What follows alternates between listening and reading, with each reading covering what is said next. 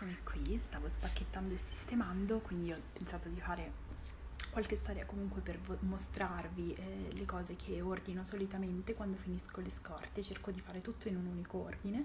Infatti mi è arrivato tutto. Vi mostro allora eh, tutti i prodotti con cui facciamo il bagnetto che vi faccio vedere sempre e che vi garantisco essere strabuoni sia come profumazione sia come delicatezza sulla pelle del bimbo. Noi abbiamo la cremina, eh, lo shampoo, il shower gel che poi in realtà è un 2 in 1 e l'olio per eh, i massaggi.